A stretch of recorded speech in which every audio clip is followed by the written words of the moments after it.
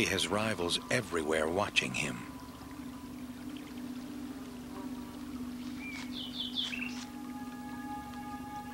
To avoid attacks from other males, the female dives underwater to lay her eggs.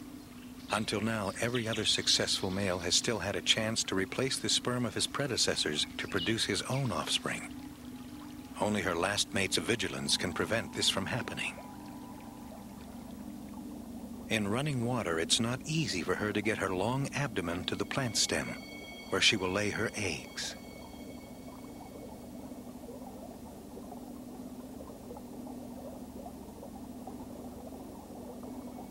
She bores a new hole for each egg with her ovipositor.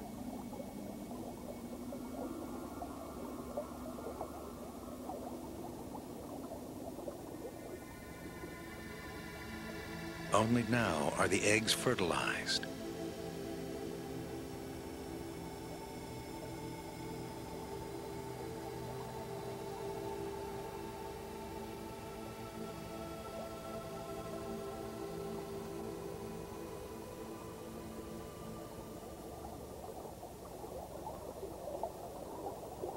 They will take several weeks to hatch.